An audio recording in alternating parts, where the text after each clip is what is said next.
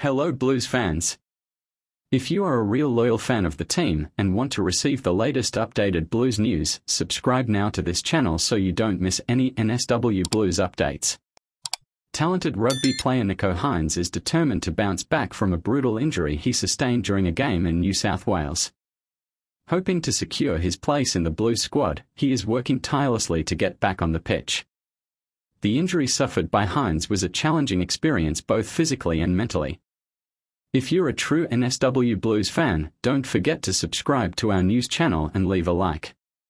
We will bring all the information and last minute opinions to you. Thanks for the support.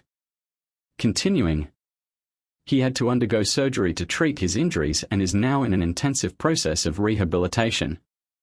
Despite the severity of the injury, doctors are optimistic that he will make a full recovery. The Blues, recognizing Hynes' potential and his ability to positively influence the game, are closely monitoring his recovery. The coach and coaching staff are looking forward to his return and believe he will be able to make a significant contribution to the team's performance. NSW Blues fans, we want to hear your opinion. What did you think of this news? What do you think of this excellent player? Want him on the team? Yes or no?